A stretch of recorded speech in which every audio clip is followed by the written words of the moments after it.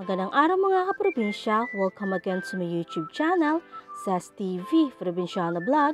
Ngayong araw pong ito, magbabahagi na naman ako ng isang lutuing simple at swak sa inyong panlasa at siguradong magugustuhan ng inyong buong pamilya. Atin na pong umpisahan ang pagluluto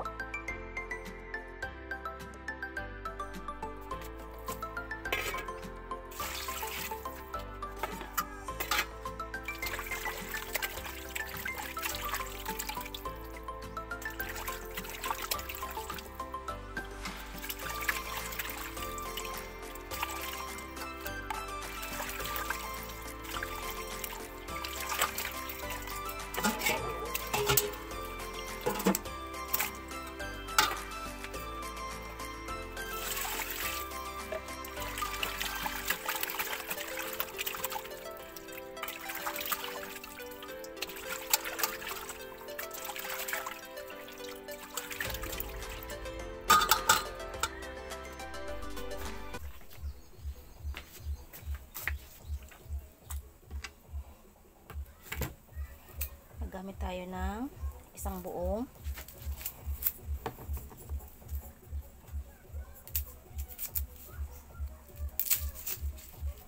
isang buong bawang para mas masarap.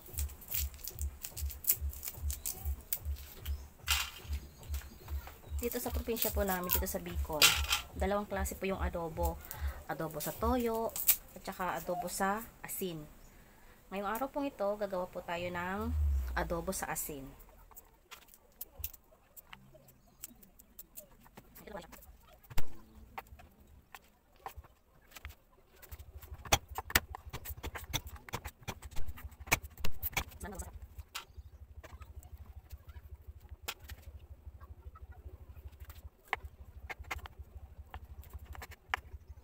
Tapos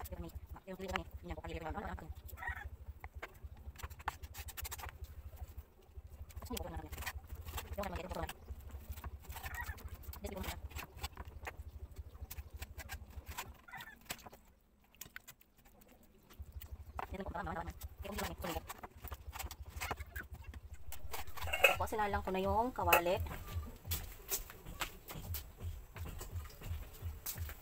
Ilagay natin ang karne.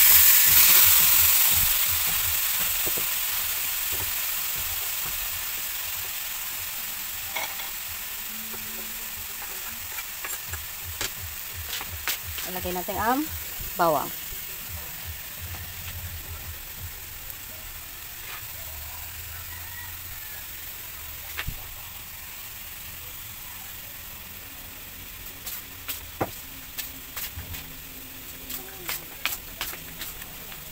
Tapos konting suka.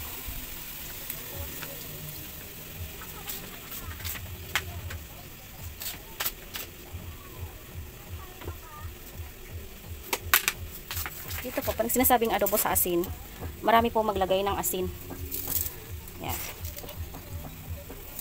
Pero hindi po yan yung maalat na maalat talaga lalo pag sa kanin. Ang sarap po talaga niya. Promise. Tapos, powder na paminta.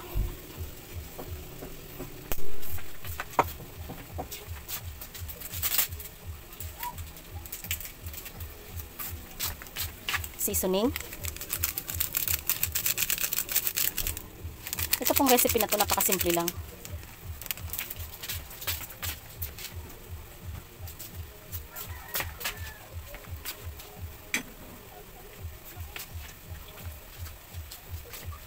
Lalagyan natin siya ng tubig. Para lumambot-lambot siya. Yan, konti lang po.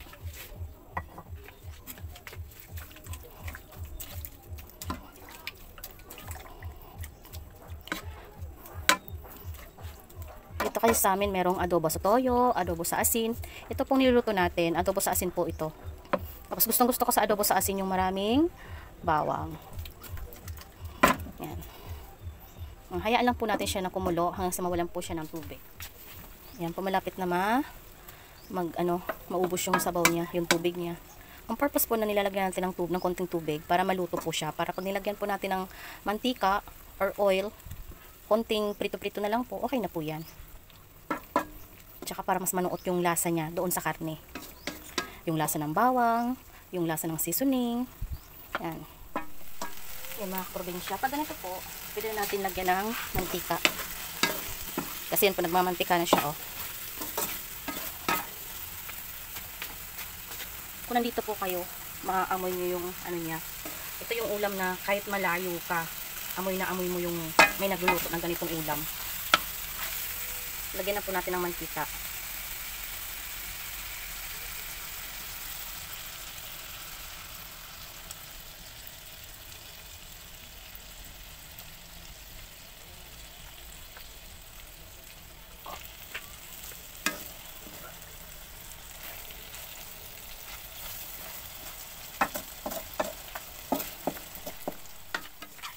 Yan po mga kaprobinsya, medyo nag-golden brown na siya.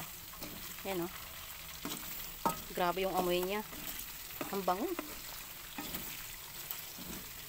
Napupuno yung buong bahay ng bango niya. Ito talaga yung gusto kong karne oh. Yung may taba, may laman, may taba, may laman. Masarap to sa ganitong ano. Yung kahit yung taba nakakain siya. Tsaka hindi nakakaumay kahit taba pag ganitong luto.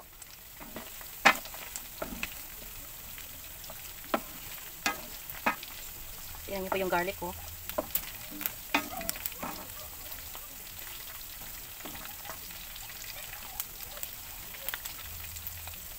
Hmm, grabing bango.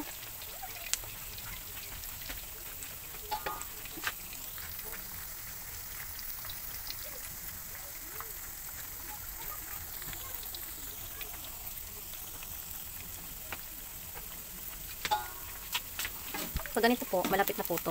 Huwag natin masyadong i-crispy.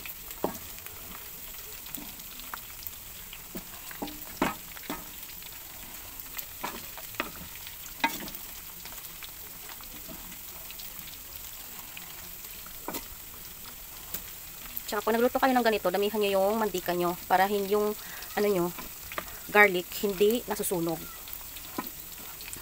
Parang kasabay siyang maluluto ng karne pag marami yung mantika.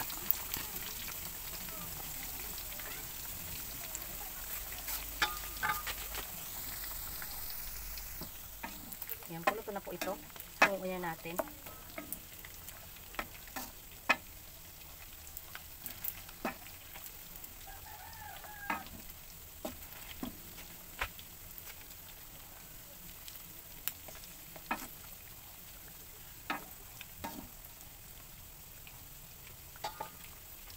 Patayin natin ang apoy at hanguin na.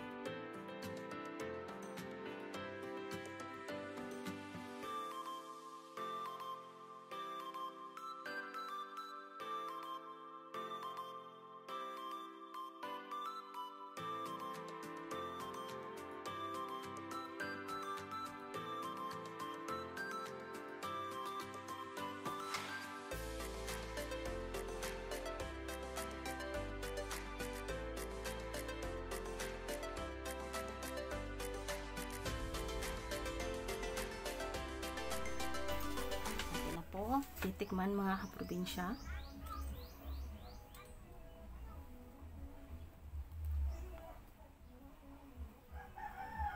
Yung kahit yung garlic dito, pag kinain mo masarap.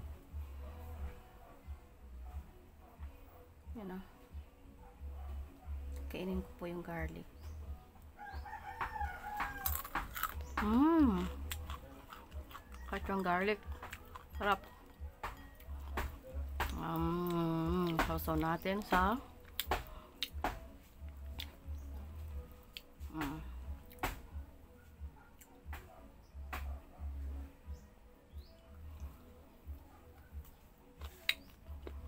Mm.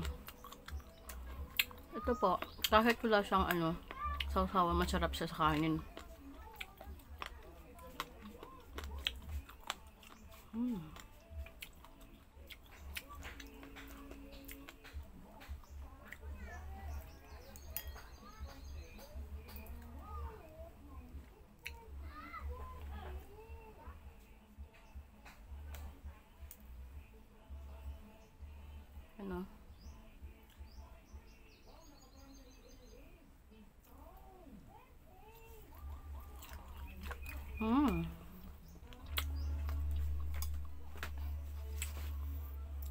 Pa tayo mga kaprobinsya.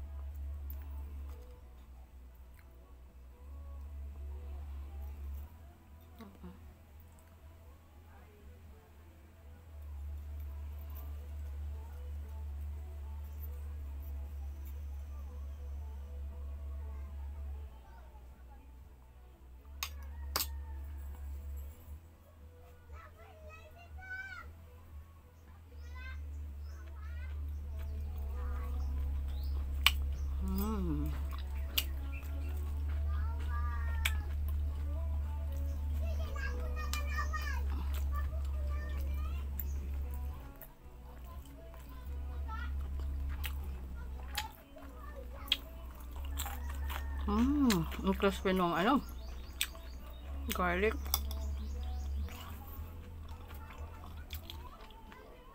Sarap niya. Mga kaprobinsya, kung inyo po nagustuhan ang niluto natin ngayon, please don't forget to like, comment, share, and subscribe to my YouTube channel at pakihit na rin po ng notification bell para lagi po kayong updated sa mga bago kong video. Salamat kaprobinsya!